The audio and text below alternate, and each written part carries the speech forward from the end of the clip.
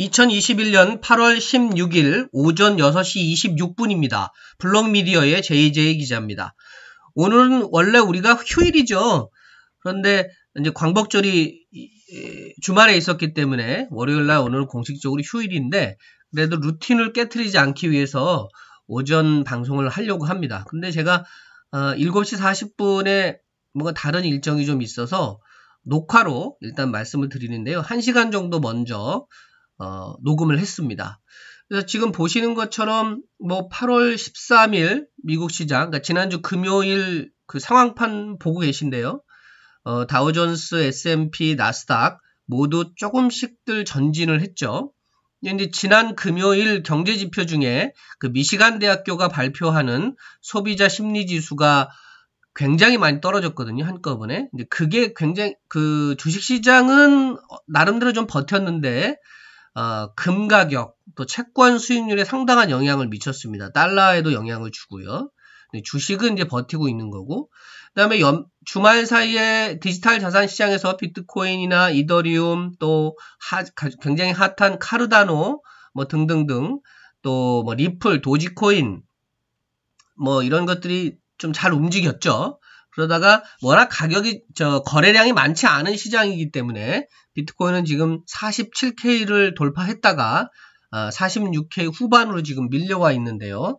어쨌든 이제 장이 본격화되면은 또 조금 다른 양상이 나타날 수 있을 것 같습니다. 트렌드상으로는 여전히 이제 다음 저항선이 비트코인의 경우에는 49에서 50K 이렇게 될 것 같고요. 그거를 넘어가면은 57까지는 무리 없이 올라갈 수 있다. 뭐 이런 전망들이 나옵니다. 어, 저도 거기에 이제 일부 동의를 하고요. 그, 이 인덱스 부분만 보면은 그 미시간 대학교의 소비자 심리가 좋지 않았다는 거는 미국의 소비가 이제 위축이 되는 거잖아요. 어, 코로나 팬데믹 그 변종도 있고 뭐 이런 것 때문에 7월 달 확 떨어졌는데 그러다 보니까 이런 식으로 달러 인덱스는 좀 약해지고 금 가격은 많이 올랐죠. 지금 1700달러 초반까지 내려갔다가 다시 1800달러를 노려보고 있는 상태거든요. 금이 이렇게 상승하는 것은 금리하고 관련이 있는데 보시는 것처럼 금리가 많이 떨어졌어요. 또 30년, 30년 만기 국채 수익률이 2% 가까이 올라갔다가 지금 1.93으로 확 내려왔죠. 또 10년 만기 국채 수익률도 1.3% 수준이었는데 지난주 1.28%로 어, 마감을 한 겁니다. 그러니까 미국이 지금 자 미국의 큰 이슈는 이번 주 후반에 있는 26일, 27일 연준 관계자들이 모여서 이제 세미나를 하는 거, 그 잭슨홀 미팅이라고 하는 게 있거든요. 이제 그거에 그때에 파워, 파월 의장이 테이퍼링과 관련해서 어떤 얘기를 할 텐데 이제 그거가 이제 굉장히 중요한 이벤트고요. 어, 이건 26, 27일인데 이번 주 중에 중요 이벤트는 이제 이따 말씀드리겠지만 retail sales, 어, 소매 판매 이런 것들이 나옵니다.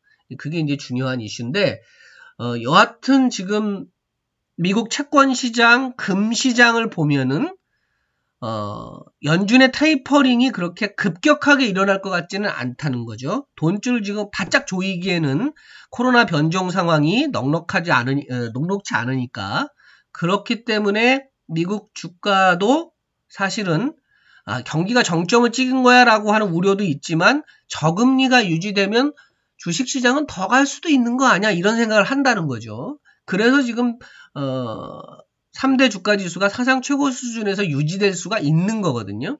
근데 저는 주식 투자하시는 분들은 더 체감하시겠지만 자, 종목별로 접근했을 때 지금 자신이 갖고 있는 종목이 계속 올라가고 있습니까?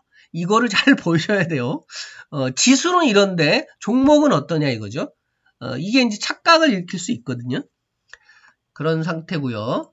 주말에 나온 뉴스들을 몇 개 볼게요. 우선 지난주 금요일 날 나왔던 어, 유니 그 미시간 대학교의 소비자 심리 지수와 관련해서 어, 소비 심리가 이렇게 급냉했다 이거고 이게 어, 작년 4월보다도 낮은 상태로 뚝 떨어졌다는 거죠. 그리고 어, 지금 미국의 코로나 확진자가 많이 늘어나고 있어요. 이제 이런 게 영향을 준다는 건데 이건 제가 야후 파이낸스에서 시황 중에 한 대목을 갖고 온 건데요.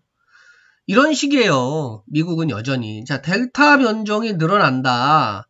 그래갖고 걱정이 많지만 이 코멘트를 준 자산 그 펀드 매니저는 뭐라고 얘기를 하냐면 주식이 여기서 10% 빠지잖아? 그러면 나는 뭐 그렇게 생각하지는 않는데 나는 그렇게 생각하지는 않는데 만약에 주가가 10% 빠지잖아? 난 살아 들어갈 거야 이러는 거예요. 바이더 딥을 하겠다는 생각이 있다는 거예요. 네? 저금리 상황이 유지될 거고 만약에 코로나 팬데믹이 더 유지가 되면 어, 저금리 상황이 더 유지가 될 거고 뭐 그러면 사러 들어가겠다는 거예요. 이런 생각들이 지금 미국 주식시장을 유, 유지하게 만드는 거죠. 그러니까 어, 죄송합니다. 소비 심리가 급냉한다고 해서 주식시장이 바로 얼어붙지는 않을 텐데 어, 이런 생각들이 있기 때문에요. 그런데 이제 거시적으로는 거시경제적으로는 그럼 테이퍼링은 어떻게 하지? 풀려나온 돈들은 어떻게 하지? 이런 고민이 계속 된다는 거죠. 이런 얘기는 디지털 자산 시장의 나쁜 얘기가 아니죠. 오히려 근본적인 문제를 생각하게 만드니까요.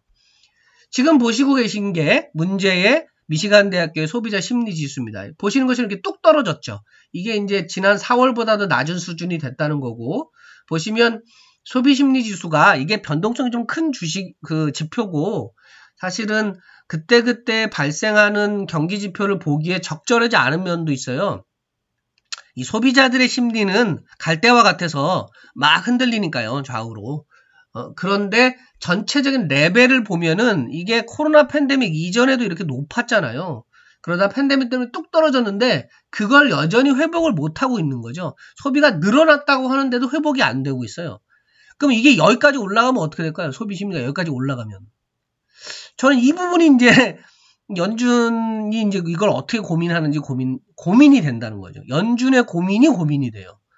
왜냐하면 인플레이션이 일시적이라고 했는데 지금 바닥에서 이만큼 올라갈 때도 이렇게 물가 상승 압력이 있는데 여기서 이전 수준으로 올라가면 어떻게 되지? 뭐 공급망의 문제라든지 이런 거를 다 감안하더라도 너무 좀 핫하다는 생각은 있다는 거죠. 워낙 억눌 어, 소비가 급냉했다가 다시 올라가는 거니까 그런 걸 이해한다고 하더라도 참 걱정스럽다는 생각이 듭니다. 이 차트만 보면은 그다음에 이거는 어, 소비자들의 향후 전망이에요. 향후 전망도 이렇게 좀 떨어졌죠.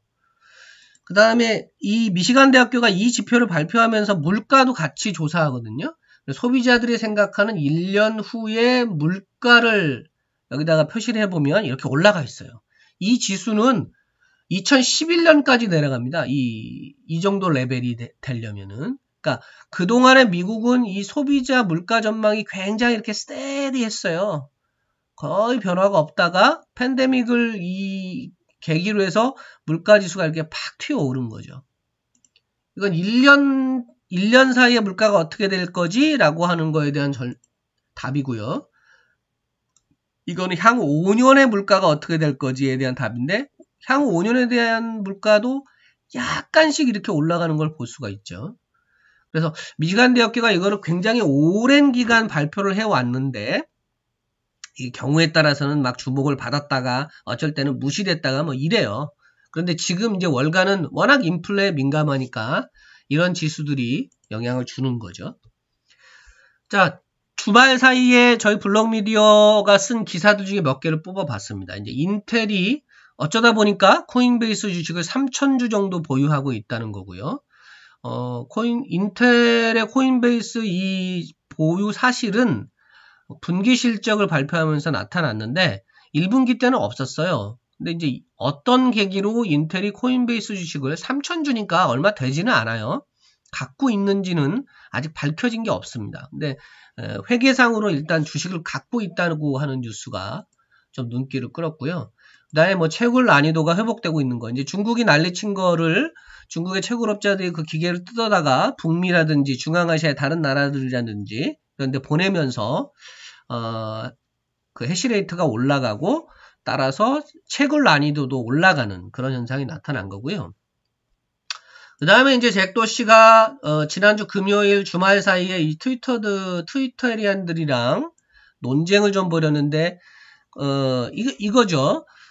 야, 그그 트위터에다가 NFT 지갑을 연결하자. 이더리움 지갑을 연결하면 되게 편할 것 같은데 지금 카카오톡이 그런 걸 하고 있는 거 똑같은 거예요. 근데 이제 이더리움이 아니고 어, 카카오는 지금 클레이를 연결을 했죠. 그러니까 클레이도 열심히 지금 NFT 장사를 하고 있죠. 저는 이 부분은 사실 좀 고민을 해봐야 될 거. 그러니까 클레이가 그런 전략을 세워서 잘 장사를 하고 있는 건 좋은데 NFT NFT를 NFT 장사를 하려고 클레이를 만들었나? 굳이 그러면 왜 클레이를 만들었지 하는 생각도 들어요. 어, 이더리움 같은 걸 이용해서도 할 수 있는 건데 카카오톡에다가 이더리움 지갑을 연결하지. 굳이 그렇게 많은 시간과 노력을 들여서 클레이를 만들어 가지고 고작 아, 고작이란 표현은 좀 이상하지만 NFT를 하려고 그러니까 클레이 어떤 확장성 부분에 있어서 제가 이제 조금 걱정이 되는 건데 여하튼 그건 이제 클레이 쪽 얘기고 그러니까 SNS에다가 어, 이더리움 지갑이 됐던 클레이 지갑이 됐던 NFT하고 관련된 뭔가 비즈니스를 하기에 딱 좋은 구조잖아요. 그런 걸 물어본 거예요. 잭 도시한테. 그랬더니 잭 도시가 단호하게 거부하거든요.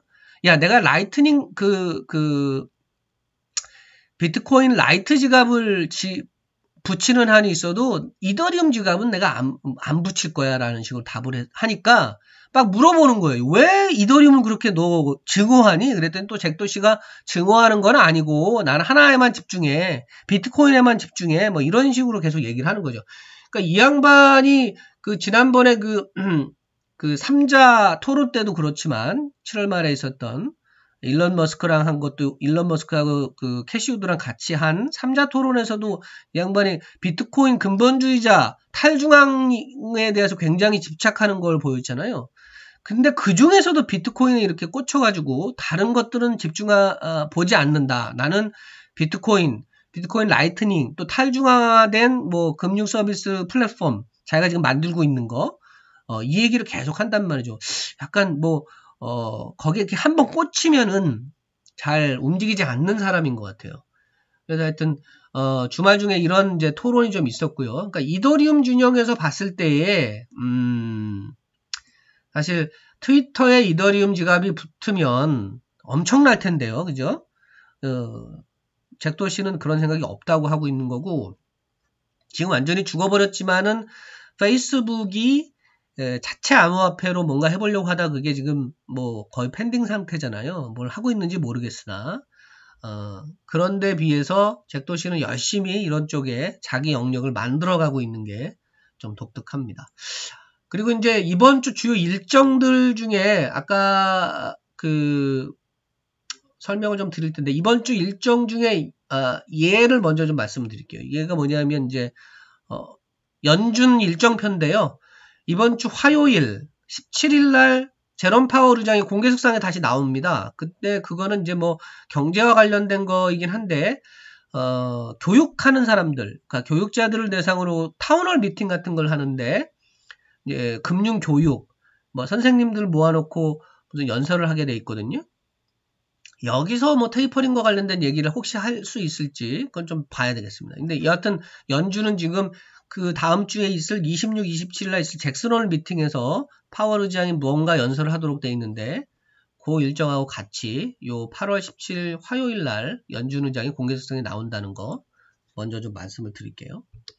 그래서 이어서 그 다음 주 일정들을 보면은 다음 주 일정은 뭐 그렇게 어, 복잡하지는 않은데요. 여기 보시는 것처럼 이제 화요일 날 잔뜩 그 무슨 리테일 세일즈와 관련된 경제지표 발표가 있죠. 그리고 이제 수요일 날은 FMC의 그 회의록 발표가 회의록을 공개하도록 되어 있거든요. 그러니까 직전 FMC 회의의 회의록. 그러니까 이때 테이퍼링하고 무슨 얘기를 했을까 이제 관심인 건데요. 지금 연준의 그 지방 음, 지역 연방은행 총재들 연준 내부의 인사들은 테이퍼링을 빨리 하자는 얘기를 대놓고 합니다.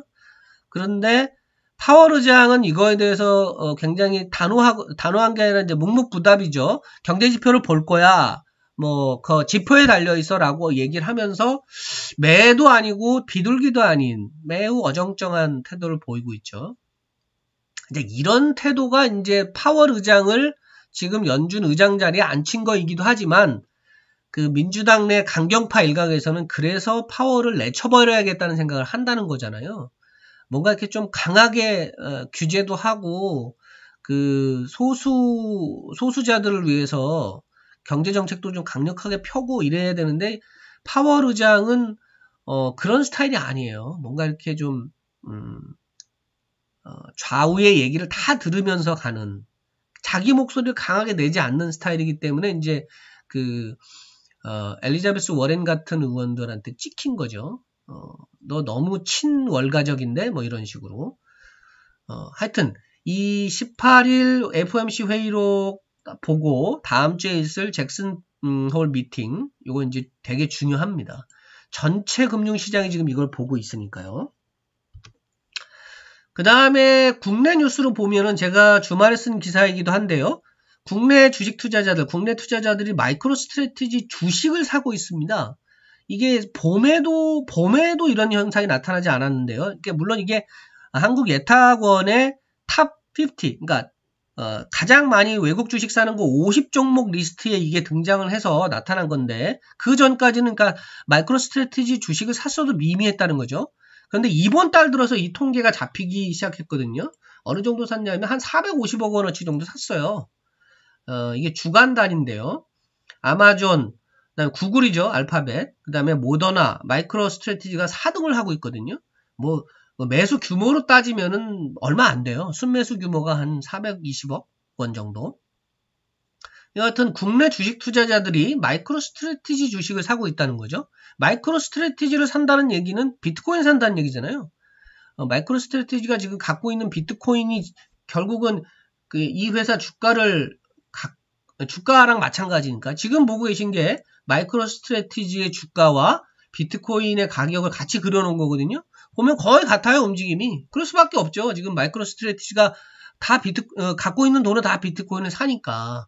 근데 이제 연초 대비로 하면은 어, 비트코인이 오히려 주가 상승률보다 낮도록 돼 있는데 어, 이 8월 초 우리나라 주식 투자자들이 비트코인 어, 이, 이 MSTR을 본격적으로 사기 시작한 게 8월 초인데 8월 초만 놓고 보면은 비트코인이 20% 올라 있는 상태거든요. 어, MSTR은 한 8% 오른 거고. 그러니까 주식 투자자들 입장에서 보면은 비트코인 가격이 오르는 걸 보고 MSTR을 산 것 같은데 그냥 비트코인을 바로 사도 되는데 그죠? 근데 이제 그게 애매하니까 그러니까 뭐 지갑 만들어야 되고 뭐 이런 게 복잡하다고 생각을 하면 그냥 바로 주식을 사는 거죠. 어, 이런 흐름들이 좀 간파가 됐습니다. 그러니까 조금 더 편하게 비트코인에 들어갈 수 있으면 좋은데 그런 게 이제 ETF인데 아직 ETF는 나올 생각을 안 하고 우리나라는 뭐 지금 이런 식의 주, 비트코인과 관련된 주식에 투자하는 ETF도 허용을 안 하니까요. 제가 한참 전에 한 두 달 됐나요? 그 한화자산운용에서 비트코인 관련 기업에 투자하는 ETF 신청했다가 빠꾸 먹었다고 그랬잖아요. 결국은 출시를 못 하셨죠. 뭐 그런 것처럼 좀 너무 그 강경하게 나가고 있는데 자, 이런 게 안타까운 부분이긴 하죠. MSTR 주식을 사느니 바로 그냥 비트코인을 사도 되는데 그러면 수익률이 더 높은데 그걸 이제 우리나라 투자자들은 못 하고 있는 거죠. 그 다음에 이제 이 뉴스는 사실 주식시장, 아, 저, 우리 금, 어, 디지털 자산 시장하고 바로 연결되는 건 아닌데요. 주말 사이에 지금 그 아프가니스탄에서 미군이 철수를 하는데 그 반군 세력이라고 할 수 있는 탈레반이 지금 수도를 수도 카불을 어, 거의 점령하다시피 했죠. 그래서 이데일리 특파원이 쓴 기사는 이런 식으로 썼어요. 그 뭐 치욕의 탈출이다. 왜 이게 치욕이냐? 역사를 조금 아셔야 되는데 예, 미국이 1970년대 베트남 60년대 후반 70년대 이렇게 베트남하고 전쟁을 했는데 그때는 이제 냉전 시대니까요. 베트남 전쟁에서 졌잖아요, 미군이. 이게 2차 세계대전 이후에 미국이 진 적이 없는데, 어, 베트남이라는 조그만 나라에 가서 졌단 말이에요. 그러면서 뭐 정말 헬기 타고 도망가고, 어, 치욕스러운 탈출을 했는데, 지금 그게, 이, 이 어, 아프가니스탄에서 재연되고 있다는 거거든요. 탈레반한테 밀려가지고 미국이 도망가듯이 빠져나가는. 참, 이 아, 아 프가니스탄이라는 나라는 어, 어려운 나라인 것 같습니다. 소련도 옛날에 아프간에 잘못 걸려가지고 고생하다가 그 물러났거든요. 미국이 이번에 이렇게 된 건데 미국이 아프가니스탄에 진주한 이유는 뭐 9, 9, 9.11 테러 때문에 그런 겁니다. 그래서 해외에 파병가 있는 군인들이 이게 가장 오래됐다고 하거든요. 도대체 아프가니스탄에 왜 이렇게 오래 있어야 되는지 잘 모르겠는데 어쨌든 탈출을 하면서 어, 정말 미국 최강 미국의 군사력이 이제 어, 미국의 군사력으로도 할 수 없는 게 있다. 이 탈레반이라는 사람들이 어떤 사람인지 이런 거는 뭐 별도로 얘기하지는 않겠습니다. 이 이슬람 근본주의자고 그런데 어쨌든 이 아프간이라고 하는 존재도 없는 나라에서 미국이 이렇게 도망치듯 빠져나가고 있는데요. 이 역사가 아까 말씀드린 베트남에서의 철군하고도 관련이 좀 비, 기시감을 주는데요. 사실은 어, 1971년 8월 15일 날 미국에 이런 일이 사실 있었어요. 이게 이제 저희 기사를 자세히 보시면 블록미디어에 자세하게 기사가 써져 있는데요. 미국이 달러하고 금을 교환해 주는 거를 이날을 기점으로 어, 중지합니다. 그러니까 과거에는 미국 달러가 금에 연결이 돼 있었는데 달러가 너무 많이 늘어나니까 금을 더 이상 교환을 못 해주니까 이걸 중지시켰거든요. 그래서 지금은 달러는 그냥 종이에요, 종이. 금이 붙어 있는 게 아니라고. 옛날에는 금이 붙어 있었지만, 그러니까 어, 달러를 제시하면은 미국 정부가 금을 주도록 돼 있었거든요. 근데 그게 1971년 8월 15일을 기점으로 그런 거 없어졌어요. 그러니까 그냥 종이에요. 금하고 관계없이. 이걸 기점으로 미국은 달러를 계속 그냥 발행할 수가 있습니다. 머니 프린팅이 이때부터 되는 거거든요. 이 문제가 나중에 문제를 일으켜요. 그러니까 지금 문제를 일으키고 있는 거죠. 슬슬슬. 너무 달러가 많이 늘어났으니까 달러의 가치가 보존이 될 수 있겠어? 이런 고민을 다시 하는 거죠. 그래서 이런 식의 문제는 얘를 반드시 촉발시켜요. 인플레가 막 늘어나 어, 위험한 상황이 됐을 때에 이 불어난 달러가 어떤 역할을 할 것이냐에 대한 문제가 답이 없어요, 답이. 이거에 대한 답으로 제시되는 게 이제 디지털 자산이고 비트코인이고 이런 거잖아요. 그러니까 어, 이 탈레반에서의 아니 저 아프가니스탄에서 미국이 철수하는 거 그게 베트남 전쟁하고 관련이 있고 베트남 전쟁도 이 닉슨 대통령의 이 금태환 정지 그러니까 금하고 바꿔주는 거를 정지시키는 거하고 관련이 있거든요. 이때 미국이 왜 달러하고 금 바꾸는 거를 중지시켰냐면 인플레이션도 있었지만 미국이 전쟁 비용 마련을 하려고 달러를 막 발행을 시켰어요. 그리고 그때 무역 적자도 많았고 미국은 2차 세계대전 이후에 냉전을 진행하면서 어, 서방 국가들 물건을 막 사줬거든요. 그러니까 미국이 그 형님 노릇을 하면서 막 사줬다고. 뭐 그 전쟁 때문에 피폐해진 유럽이라든가 아, 한국도 우리나라도 그때 도, 득을 봤죠. 왜냐하면 경제 개발을 하면서 그, 그 당시에는 박정희 대통령 시절이니까 막 경제 개발하면서 그거를 그거를 다 미국에 팔아먹었으니까 신발 이런 거요. 어, 미국이 그런 식으로 달러를 막 살포했단 말이에요. 그래서 미국이 글로벌 통화가 된 건데 사실 그러다 보니까 이제 금이 모자라잖아요. 금하고 달러하고 붙어 있어야 되니까. 이제 그게 이제 중지가 된 거죠. 71년을 기점으로. 이런 식으로 달러를 많이 발행한 게 이제 그 촉발이 된 게 베트남 전쟁도 있단 말이죠. 지금은 뭐 그 아프가니스탄 때문에 달러를 발행하는 건 아니지만 여하튼 다시 지금 이런 달러 살포의 문제가 일어나고 있으니까요. 어, 이런 부분에 대한 해법으로서의 디지털 자산, 비트코인이라고 하는 스토리텔링은 제가 거듭거듭 말씀드리지만 여전히 유효하다.